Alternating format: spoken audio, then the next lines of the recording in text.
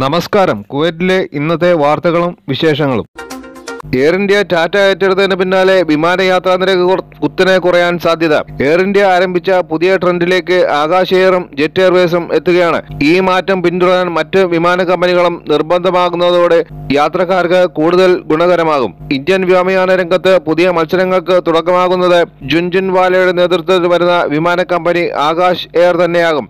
എല്ലാവർക്കും യാത്ര ചെയ്യാൻ കഴിയുന്ന തരത്തിലേക്ക് വിമാനയാത്രയെ മാറ്റുക എന്ന ലക്ഷ്യത്തോടാണ് ആകാശ് എയർ എത്തുന്നത്. കുറഞ്ഞ ടിക്കറ്റ് നിരക്കിൽ വിമാനയാത്ര സാധ്യമാക്കാനാണ് പദ്ധതിയിടുന്നത്.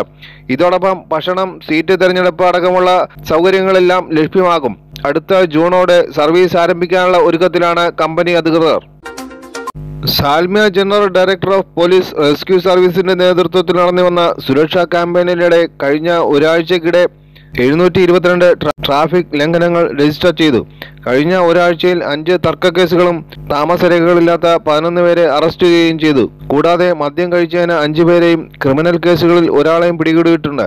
പതിനഞ്ച് വാഹനാപകടങ്ങളും കഴിഞ്ഞ ഒരാഴ്ചക്കിടെ ഉണ്ടായിട്ടുണ്ട്. നൂറ്റി നാൽപ്പത്തിയാറ് സെക്യൂരിറ്റി ഓപ്പറേഷൻസാണ് പോലീസ് റെസ്ക്യൂ സർവീസ് നടത്തിയത്. ഫർവാനിയിൽ അപ്പാർട്ട്മെന്റിലുണ്ടായ തീപിടുത്തത്തിൽ ആറു പേർക്ക് പരിക്കേറ്റു. കഴിഞ്ഞ രണ്ടു ദിവസത്തിനിടെ വിവിധ ഭാഗങ്ങളിൽ തീപിടുത്തമുണ്ടായി. മഹാത്മാഗാന്ധിയുടെ രക്തസാക്ഷിത്വ ദിനത്തോടനുബന്ധിച്ച് കുവൈറ്റിലെ ഇന്ത്യൻ എംബസി അനുസ്മരണ പരിപാടികൾ സംഘടിപ്പിച്ചു. ഇന്ത്യൻ അംബാസിഡർ സിബി ജോർജ് ഗാന്ധി ചായയുടെ ചിത്രത്തിൽ പുഷ്പാർച്ചന നടത്തി. കുവൈറ്റ് ആരോഗ്യ മന്ത്രാലയത്തിന്റെയും ആഭ്യന്തര മന്ത്രാലയത്തിന്റെയും കോവിഡ് മുന്നണി പോരാളികൾക്ക് സൗജന്യ റേഷൻ വിതരണം മാർച്ച് ഒന്നിന് ആരംഭിക്കും. സാമൂഹ്യക്ഷേമ വകുപ്പും ജമിയകൾക്കും ഇത് സംബന്ധിച്ച നിർദ്ദേശം നൽകിയതായി വാണിജ്യ മന്ത്രാലയം അറിയിച്ചു. കോവിഡിന്റെ ഒന്നാം തരംഗ സമയത്ത് മുൻനിര സേവനത്തിലുണ്ടായിരുന്ന ജീവനക്കാർക്കാണ് സൗജന്യ റേഷൻ. ആരോഗ്യ ആഭ്യന്തര മന്ത്രാലയം അയച്ച വിവരങ്ങൾ പ്രകാരം വാണിജ്യ മന്ത്രാലയമാണ് ഭക്ഷണ വിതരണത്തിനുള്ള പട്ടിക തയ്യാറാക്കിയത്. വിദേശികൾ ഉൾപ്പെടെ തൊണ്ണൂറായിരം പേരെ ഗുണഭോക്താക്കളായി കണ്ടെത്തിയിട്ടുണ്ട്. മാർച്ച് ഒന്ന് മുതൽ വിതരണം ആരംഭിക്കാനാണ് വാണിജ്യ വ്യവസായ മന്ത്രി ഫഹദ് അൽ ഷുറൈ ആൻ നിർദ്ദേശം നൽകിയത്. വാണിജ്യ മന്ത്രാലയം സാമൂഹ്യക്ഷേമ വകുപ്പ് സഹകരണ സംഘങ്ങൾ എന്നിവയുടെ ഏകോപനത്തിലൂടെ ഭക്ഷ്യവസ്തുക്കളും നിത്യാഭ്യാസ സാധനങ്ങളും അടങ്ങുന്ന കിറ്റ് വിതരണം ചെയ്യുക. അഞ്ച് വയസ്സ് മുതൽ പതിനൊന്ന് വയസ്സ് വരെയുള്ള കോവിഡ് പ്രതിരോധ കുത്തിവയ്പ്പ് അടുത്ത ദിവസം തുടങ്ങും.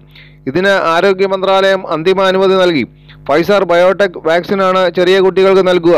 ഈ പ്രായഭാഗത്തിലുള്ള വാക്സിനേഷൻ രജിസ്ട്രേഷൻ നേരത്തെ ആരംഭിച്ചിട്ടുണ്ട്. അഞ്ച് വയസ്സിന് മുകളിലുള്ളവർക്ക് ഫൈസർ വാക്സിൻ നൽകുന്നത് ഫുഡ് ആൻഡ് ഡ്രഗ്സ് അഡ്മിനിസ്ട്രേഷൻ അനുമതി നൽകിയതിനെ തുടർന്ന് കുവൈറ്റിലും രജിസ്ട്രേഷൻ നടത്തിയത്.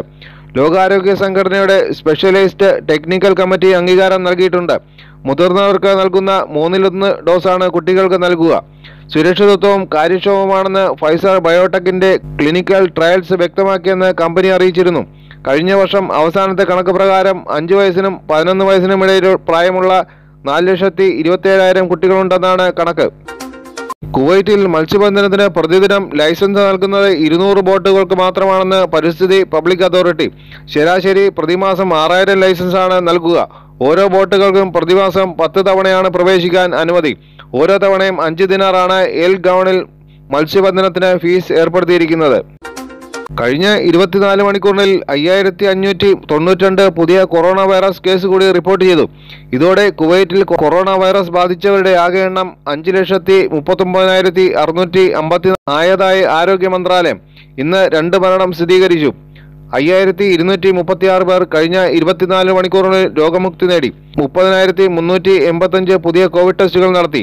അമ്പതിനായിരത്തി എഴുന്നൂറ്റി എൺപത്തഞ്ച് പേർ ചികിത്സയിലും നാനൂറ്റി തൊണ്ണൂറ്റിയാറ് പേർ കോവിഡ് വാർഡിലും എൺപത്തൊമ്പത് പേർ തീവ്രപരിചരണ വിഭാഗത്തിലുമാണ്.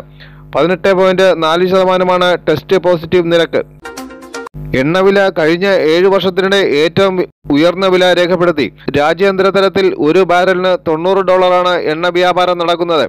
രണ്ടായിരത്തി പതിനാല് ഒക്ടോബറിന് ശേഷമുള്ള ഏറ്റവും വില- വിലയാണ് കഴിഞ്ഞ ദിവസം രേഖപ്പെടുത്തിയത്. വരും ദിവസങ്ങളിലും ആഗോള ക്രൂഡ് ഓയിൽ വില വർദ്ധിക്കുമെന്നാണ് കരുതപ്പെടുന്നത്. നന്ദി നമസ്കാരം.